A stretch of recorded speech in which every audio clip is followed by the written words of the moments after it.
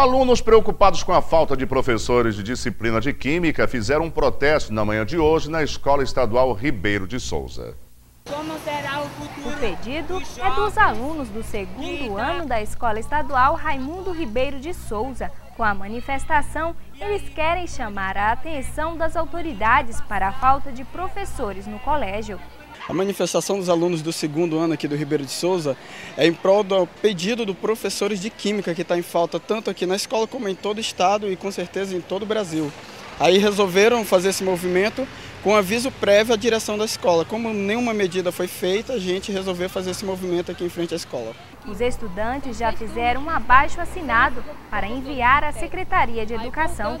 Segundo eles, seis turmas estão sem aula de Química desde o início do ano letivo. Prejudica bastante porque o Enem está vindo aí e sem esse conteúdo vai ser complicado para os alunos fazerem essas provas, prestarem vestibular. A diretora da 16ª Unidade Regional de Ensino em Tucuruí diz que a SEDUC já foi comunicada sobre a situação, mas que o problema está na falta de profissional qualificado na área de Química. Sônia Rosa também informou que das seis turmas, duas vão continuar sem professor até o meio do ano, quando uma docente que está de licença maternidade voltará ao trabalho.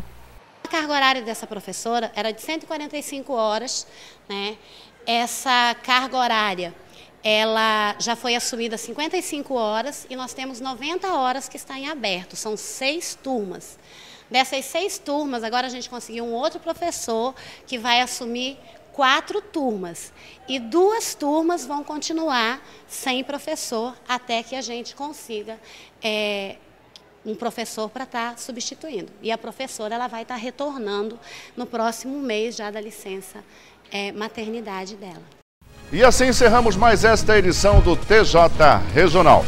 Até amanhã, se Deus quiser.